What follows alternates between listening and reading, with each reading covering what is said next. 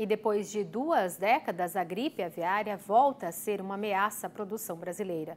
Nossa equipe em Brasília esteve hoje no Ministério da Agricultura e Pecuária para saber quais ações a pasta está tomando em relação à doença. O Ministério da Agricultura iniciou na semana passada a campanha da influenza aviária aqui não. Por quê? O Brasil é o maior produtor mundial de aves e o maior exportador a, a, o risco de influenza aviária é muito associado a aves migratórias. Então, é um risco já muito bem identificado. Ocorre quando as aves migratórias vêm do hemisfério norte para o hemisfério sul. Isso ocorre tradicionalmente nos períodos de dezembro a maio. Então, o risco real e imediato que nós temos para fazer um plano de contingência e evitar a entrada da influenza aviária nas produções comerciais no Brasil se estende até maio. Por que, que isso é re relevante nesse período?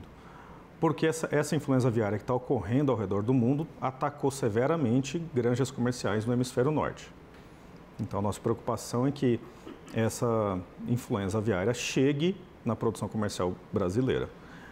Houve casos na América do Sul, em aves silvestres, na, nos países que estão depois da cordilheira, e, mais recentemente, num caso no extremo oeste lá em, perto de Cochabamba, na Bolívia. Até o momento, nós não tivemos nenhum caso positivo de influenza aviária de alta patogenicidade no Brasil.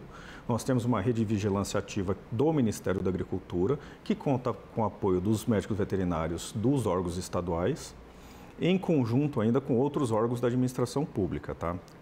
Cito aqui o IBAMA, o ICMBio e inclusive até o Ministério da Saúde. Os produtores, eles são muito bem estruturados com as suas características, com a sua, sua produção, com as suas medidas de biossegurança. Todos já estão alertas e conscientes, porque nós temos um plano de contingência. Já estamos preparados para lidar com isso, tá? Bom lembrar que o laboratório de referência de diagnóstico da doença na América Latina é o laboratório do Ministério da Agricultura em Campinas.